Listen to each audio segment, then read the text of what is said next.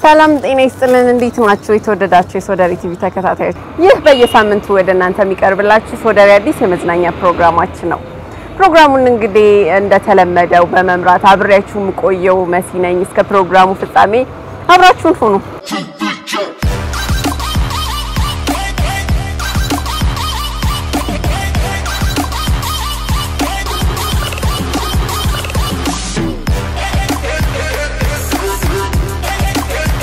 ተወዳጁ የልጆች መዝሙር ፀሐዬ ደመቀች ከሀያ አምስት ዓመት በኋላ በድጋሚ ለመድረክ ሊበቃ ነው። ፀሐዬ ደመቀች በሚለው የህፃናት ክብረ ዜማ የሚታወቁት የአምባ ሙዚቀኞች ከ25 ዓመት በኋላ ተሰብስበው በመሳሪያ የተቀነባበረ ሙዚቃ የፊታችን ሮብ በአክሱም ሆቴል ለህዝብ እንደሚያቀርቡ ታውቋል። ለደራሲ ሰዓዳ መሐመድ የሕክምና ወጪ አንድ ሚሊዮን ብር ፈጀ። ተወዳጇ ደራሲ ሰዓዳ መሐመድ ከሁለት ወር በፊት የኩላሊት ንቅለ ተከላ ለማድረግ ወደ ቱርክ እንዳመራች ይታወቃል። ከሳምንት በፊት የኩላሊት ንቅለ ተከላው በተሳካ መንገድ አጠናቃ ወደ አገር ቤት እንደተመለሰች የታወቀ ሲሆን በአጠቃላይ የሕክምና ወጪ አንድ ሚሊዮን ብር ፈጅቷል ተብሏል። ውድ ተመልካቾቻችን ሶደሪ አዲስን እየተከታተላችሁ ትገኛላችሁ። ለሚኖራችሁ ማንኛውንም አይነት አስተያየትና መረጃ እንዲሁም ጥቆማ በፌስቡክ እና በቲቪ ገጾቻችን ላይ ማድረሳችሁን ቀጥሉበት። አሁንም አብራችሁን ቆዩ። እንግዲህ ተመልካቾቻችን አሁን ደግሞ ትንሽ የሚያሳዝን ዜና ደርሶናል። አርቲስት ተወዳጁ አርቲስት ኪሮስ ኃይለ ስላሴ ሁለት አይኖቹን አጥቷል።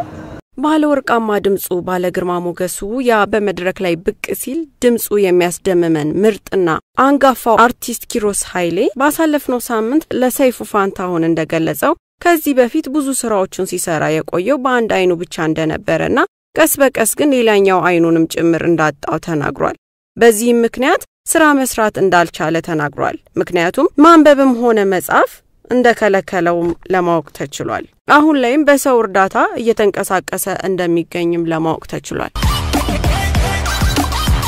ተመልሰናል ተመልካቾቻችን። እስቲ እንደተለመደው ዛሬም የአርቲስቶቻችን ቆንጆ ቆንጆ ፎቶዎች ይዘንላችሁ ወደ እናንተ ቀርበናል። ተመልክተን እንመለስ።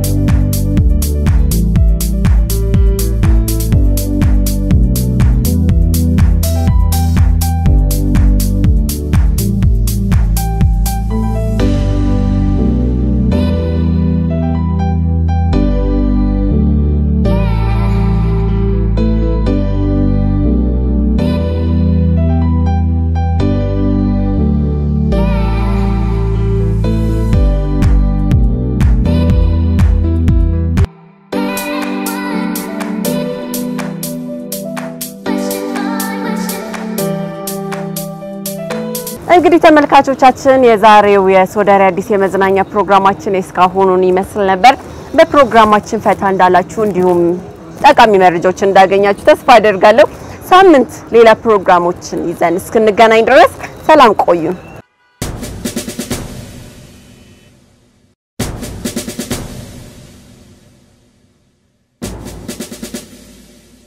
በእኔ እናንተ መካከል ያለው ልዩነት በጣም ሰፊ ነው አይደለም ነው አይደለም ነው።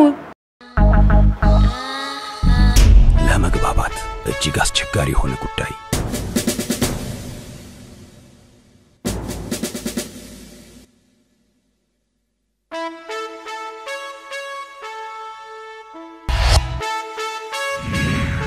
መሳይ ይባላል። እኔ ሄርሜላ እባላለሁ። ለመጀመር ቀላል እድሜ የሚባል ነገር አለ እኮ እና እንዴት ይሄ አይገባም? ይህንን ከምረሳ ቤት ሳመጣ እዛ ውጭ ብታድር ይቀላቸዋል። እንዴት ይህን ትረሳለህ? ምንድን የረሳሁት?